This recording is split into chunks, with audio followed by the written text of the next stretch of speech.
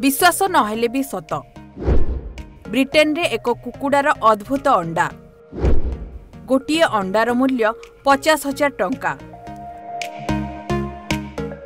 ପ୍ରୋଟିନ୍ର ଅଭାବକୁ ପୂରଣ କରିବା ପାଇଁ ସମଗ୍ର ବିଶ୍ୱରେ ଲୋକମାନେ ଅଣ୍ଡା ଉପରେ ପ୍ରାଧାନ୍ୟ ଦେଇଥାନ୍ତି ଅଣ୍ଡାରେ ଭିଟାମିନ୍ ଏବଂ ମିନେରାଲ୍ସ ପ୍ରଚୁର ପରିମାଣର ମିଳିଥାଏ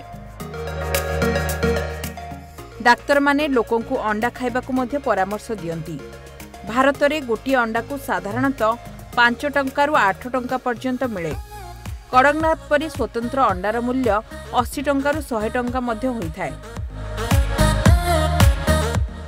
ଯଦି କେହି କୁହେ ଗୋଟିଏ କୁକୁଡ଼ା ଅଣ୍ଡାର ମୂଲ୍ୟ ପଚାଶ ହଜାର ଟଙ୍କା ଏହାକୁ କିଏ ବିଶ୍ୱାସ କରିବ କି? କିନ୍ତୁ ଏହା ସମ୍ପୂର୍ଣ୍ଣ ସତ। ଗୋଟିଏ କୁକୁଡ଼ା ଏପରି ସ୍ୱତନ୍ତ୍ର ଅଣ୍ଡା ଦେଇଛି ଯାହା ପାଞ୍ଚଶହ ପାଉଣ୍ଡରେ ଅର୍ଥାତ୍ ପଚାଶ ହଜାର ଟଙ୍କାରେ ବିକ୍ରି ହେଉଛି।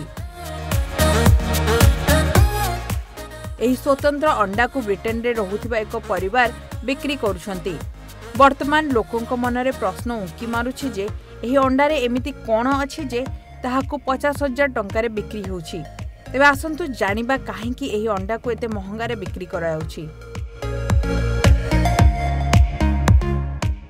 ଏକ ରିପୋର୍ଟ ଅନୁଯାୟୀ ବ୍ରିଟେନରେ ଏକ ପରିବାର ପ୍ରାୟ କୋଡ଼ିଏ ବର୍ଷ ଧରି ଉଦ୍ଧାର ହୋଇଥିବା କୁକୁଡ଼ାକୁ ପାଳୁଛନ୍ତି।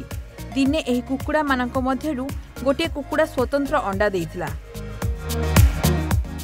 ଯାହା କୁକୁଡ଼ା ମାଲିକ ଆନାବେଲଙ୍କ ପରିବାରକୁ ଆଶ୍ଚର୍ଯ୍ୟ କରିଦେଇଥିଲା। ଏଭଳି ଅଦ୍ଭୁତ ଅଣ୍ଡା ଦେଉଥିବା କୁକୁଡ଼ାର ନାମ ହେଉଛି ଟ୍ୱିନ୍ସ୍କି ସାଧାରଣ କୁକୁଡ଼ାମାନଙ୍କ ଅଣ୍ଡାଗୁଡ଼ିକ ଆକାରରେ ଛୋଟ ବଡ଼ ଥାଏ।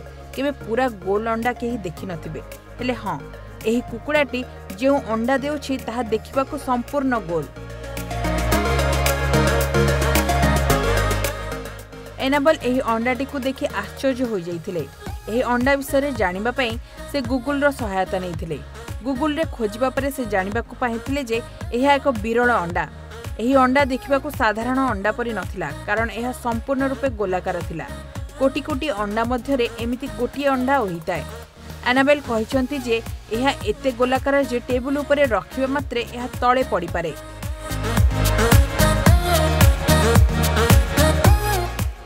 ଏଭଳି ଅନନ୍ୟ ଅଣ୍ଡାକୁ ବିକ୍ରି କରିବା ପାଇଁ ଆନାବେଲ ପ୍ରଥମେ ଏହାର ମୂଲ୍ୟ ଦଶ ହଜାର ଟଙ୍କା ରଖିଥିଲେ। କିନ୍ତୁ ଏହାର ମୂଲ୍ୟ ନିଲାମରେ ବଢ଼ି ଚାଲିଲା। ସେ ଏହାକୁ ଇ କମର୍ସ ୱେବସାଇଟ୍ରେ ତାଲିକାଭୁକ୍ତ କରିଛନ୍ତି ଯେଉଁଠାରେ ଏହାର ମୂଲ୍ୟ ସତଚାଳିଶ ହଜାର ଟଙ୍କାରେ ପହଞ୍ଚିଛି।